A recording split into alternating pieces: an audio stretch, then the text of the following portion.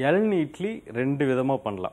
எப்படின்னா நம்ம சாதாரணமாக இட்லி மாவு எப்படி அரைப்போம்? ஒரு கிலோ அரிசிக்கு முந்நூறு முந்நூறு கிராம் உளுந்து. அந்த தண்ணி ஊற்றி அரைக்கிறோம்ல அதில் ஒரு டம்ளர் இல்லை கொஞ்சமாக இளநீ தண்ணி ஊற்றி அரைங்க.